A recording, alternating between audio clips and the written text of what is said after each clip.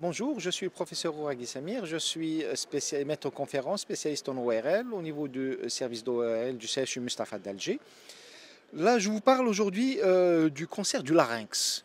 Cancer du larynx qui est le euh, deuxième cancer le plus fréquent en, ORL, qui intéresse une population euh, très importante, essentiellement le, sujet donc, de sexe masculin, donc l'homme, l'homme à partir de la cinquantaine, et qui se manifeste essentiellement au début par ce qu'on appelle une dysphonie. Dysphonie, c'est la voix qui est cassée, enrouée et, qui ne revient pas. Donc le patient a sa voix qui a changé et ce changement de, la tonalité de voix va persister.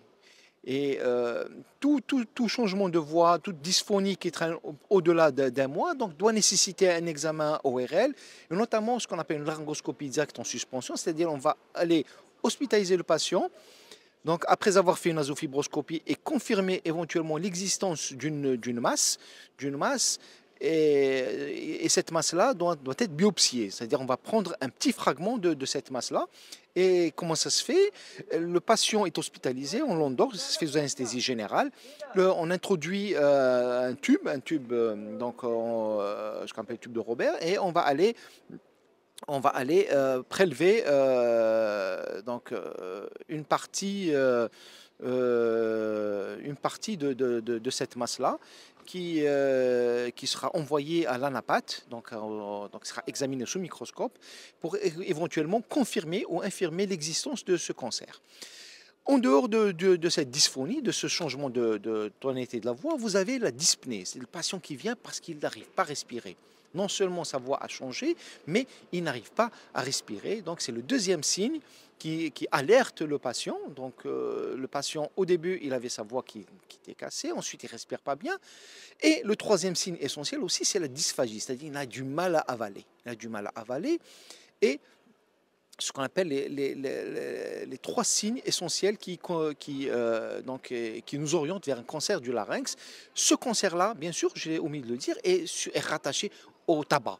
Au tabac. Attention, attention, le tabac, le tabac, le tabac va donner donc est responsable donc pratiquement donc tous ces cancers du, larynx et on, retrouve tout à chaque fois l'intoxication tabagique qu'elle soit euh, qu'elle soit passive ou, active, c'est-à-dire le patient, il fume lui-même, ou des fois, c'est le conjoint, c'est sa femme qui vient, qui a un cancer du larynx, parce qu'elle elle aspire ces, fumées-là, sans, se rendre compte. Donc, elle fume sans réellement fumer, et, et ce tabac-là, donc, ça est, la première cause de, cancer du larynx.